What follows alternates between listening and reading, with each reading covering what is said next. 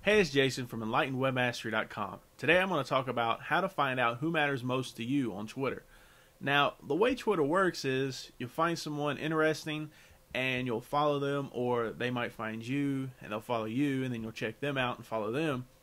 And over time, you'll just add up a whole lot of friends that you can't really interact with all the time.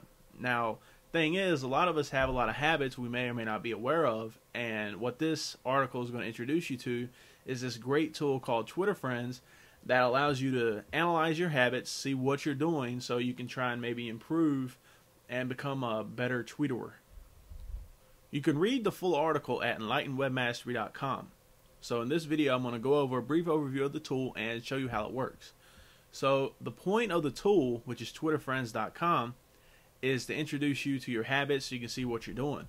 See if you're only replying to certain people or you're not replying to anybody at all, if everything you post is a link or if everything you post is a conversational reply. And the point of the article is to help introduce you to this tool so you can see the habits, see what you're doing, and then maybe try and improve upon it if you want to. So let me show you how Twitter Friends works and a little bit about how to use it. So the theory is that Twitter has three different kinds of networks, and those networks are your network, which is the group of people that either follow you or you're following them, and then you have your follower of followers network, which is the extended reach of your network. They're the friends of your friends, and then you also have the at crowd, which is basically the people you reply to the most and talk to the most. And what this tool wants to do is show you who you're following the most and try and uh, point out this hidden network and what you're using. So to get started, you go to twitter-friends.com. And when you get here, what's a really great thing is you don't actually have to put in your username and password. It's secure, but until Twitter opens up the open authentication protocol, I really wouldn't recommend using your login and password just anywhere. So what's really great is you don't have to here. So to get started, just type in your name or someone else's name. I'm going to type in Kevin Rose for this example because he twitters a lot and as such he has much better statistics than I do. So whenever you type in your name or somebody else's name, you're going to see an example of what they look like. You'll see their statistics. This is the people that you reply to the most. And this shows the frequency of how much you reply to them. This right here is the people that reply to you the most and how often they reply to you. As you can tell, these are not always directly correlated.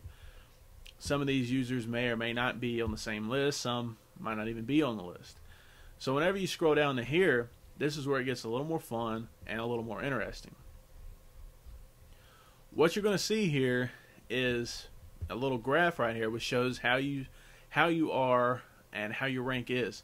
Now what's cool is you can type in your name or somebody else's name and see how you stack up. I tried out a few different people that I follow and noticed some of them had higher reply, some of them was just full on the link quotient, and it's kind of cool when you can see how they are. I haven't really found that many people that's equal in all distances. I'm surely not, but it's pretty interesting. So let's talk about the most relevant parts to you, and that's going to be right here. This is your username by the numbers. The size of your relevant net, which is outgoing. What this is, is it shows you the number of users that replied to you in the last 30 days and did so more than one time. And the size of your relevant net incoming is the number of users that you reply to more than once within the last 30 days. That's the way the tool works. It goes through the last 30 days of your tweets. So that's why you need to keep track of it about once a month. Now, your fans are the people that you reply to within the last 30 days, and the tweets sent a day which is right here, is the average of how many tweets you typically send a day.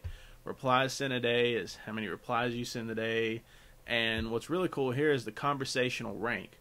Now, what this is, is it uses the what they refer to as the conversational quotient, which shows how many of your tweets are replies. And basically, the higher the number is, the more you're having one on one conversations with a certain user. If your number is pretty low, that means you're not having a lot of conversations with other users. So you may or may not want to try and increase that or decrease it and see where you are. Uh, currently, out of 3,798 people, Kevin's ranked number 288.